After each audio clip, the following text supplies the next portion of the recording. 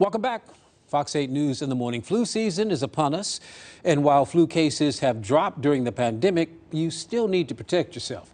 Dr. Susan Rehm is an infectious disease specialist with the Cleveland Clinic. She's here now to talk about why you should still get the flu shot. Doctor, first of all, thank you for your time. Appreciate you stopping by this morning. Great to be here. All right, uh, what type of flu are we looking at this year, first of all? Um, well, we, the vaccine is going to contain four different strains of flu mm-hmm. two of type A, two of type B. And this is the first year that every single vaccine that's available is going to have all four types. Oh, that's good. It's been updated as well. As the strains have been updated. Okay. And uh, so you know, stick around and see what the season will be like, and right? That's the question because last year, because of the pandemic, you know, everyone was putting on a mask and social distancing and all of that. We didn't have a lot of cases of the flu I mean, compared to other years. What are you expecting this year? Well, I, I don't know what to expect. And, you know, when we talk about flu, it's every year is different. If you've seen one year, you've seen one year. Mm-hmm. But you're right. I think that because people are not wearing masks as much, that we might see more transmission. We've already seen more transmission of other respiratory viruses like respiratory syncytial virus or RSV. Okay. So I, I, I, hope, however, that the masking will make a difference. And I also hope that we will see the levels of vaccination for influenza that we saw last year.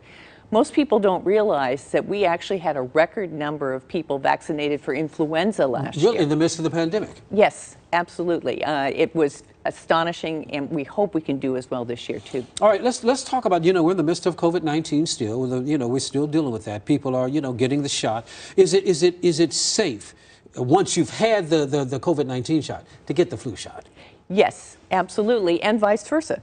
As a matter of fact, you can get both COVID vaccine and flu vaccine on, at the same visit. Mm-hmm. Uh, so that's going to make things very easy for people who haven't already received COVID vaccination. Mm-hmm, mm-hmm. They can get COVID vaccination potentially when they get their flu vaccine. Talk about the flu shot. Uh, are there side effects like the COVID? We always say about the COVID side effects. What about the flu shot? The flu vaccine does have similar side effects in terms of sore mm-hmm, arm, mm-hmm. and some people feel tired or even a little bit feverish mm-hmm. afterwards too. So mm-hmm. that there, there, can be a, f- a few side effects from it, but it's a lot better than getting the flu. So once again, uh, the individuals who are most at risk. Uh, yes, the people who are most at risk are older people, mm-hmm. people with health conditions, smoking, asthma, heart disease, yeah. lung disease, etc., and also people who are younger pregnant women, and people who have compromised immunity. Talk about the frustration that you have to be feeling when it comes to vaccine hesitancy.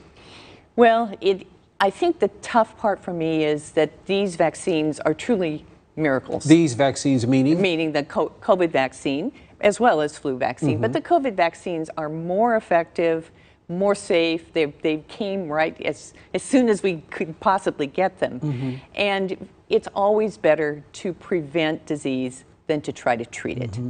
mm-hmm. So, now, people trust the flu vaccine, but they're hesitant a lot about the COVID vaccine. Why is that, do you think? I think that there's a variety of individual reasons, and I'm hoping with time and, and experience, you know, many people said, gee, it went, went so quickly, could you know, you got, you could there we, be some unknowns there? Is, is, that, is that problematic in, in, your mind, the, the fact that it came so quickly, the, the, vaccine? Well, I was among the first people vaccinated. So, okay. I, okay. I, I, mean, that tells you the level of trust that okay. we have. And you've had your booster? Uh, I just had my and booster recently. Yeah, I've had my flu shot. Yes, as a matter of fact, I had my flu vaccine early in September, and I had my COVID booster just a couple mm-hmm. days ago. Mm-hmm. What do you say to individuals who are hesitant? What do you say?